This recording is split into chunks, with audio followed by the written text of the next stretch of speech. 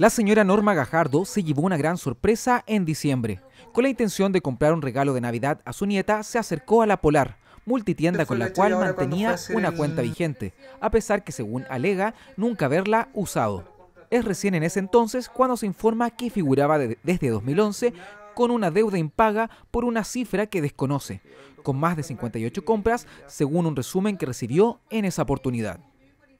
Yo me inscribí con unas niñas que estaban inscribiendo en la calle y de ahí yo no saqué nunca más nada, nunca he visitado la tienda, nunca.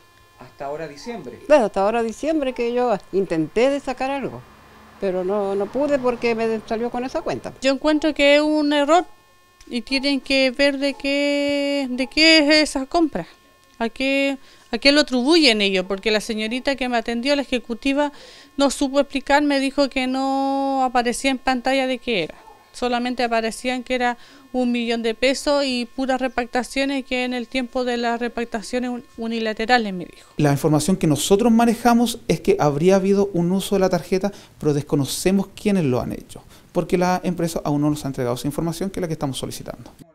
Tras esta sorpresa y con antecedentes en mano, la señora Norma junto a su hija Pamela interpusieron un reclamo en el Servicio Nacional del Consumidor, CERNAC, mediante el cual recibieron vía correo electrónico una respuesta que no la dejó conforme. Para esta vecina de Cartavio, esta respuesta le resulta imposible pagar. Pues me da rabia con esa polar porque yo he escuchado a mucha gente que es una sinvergüenzura lo que les cobran. Mucha gente se ha retirado por eso porque es una sinvergüenzura, que cobran algo que no, se saca. Entonces, yo espero que la tienda La Polar se haga cargo y que busquen en los registros, tienen que tener registros si está o no la firma de mi mamá ahí en la tienda la recomendación es que la gente siempre vaya conociendo sus derechos, cuáles son sus derechos y obligaciones para con los proveedores. Por ejemplo, en el caso en particular, si tenemos una tarjeta, leer antes los contratos, antes de firmar qué cosas nos van a cobrar. Hay tarjetas que cobran mantención y todo ese tipo de cosas que a veces la gente desconoce cuando lo firma. Segundo, que si las tarjetas eh, le están dando seguros, hay seguros que no son obligatorios, entonces ellos no tienen por qué estar firmando eh, por seguros que no van a utilizar o no desean.